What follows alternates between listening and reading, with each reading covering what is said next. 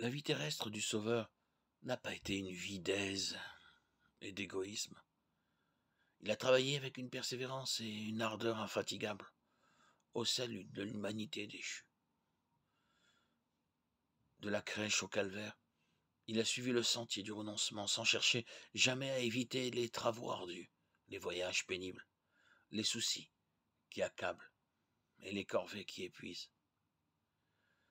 Le Fils de l'homme est venu non pour être servi, mais pour servir et donner sa vie comme la rançon de plusieurs. Matthieu 20, 28. C'était là le grand but de sa vie.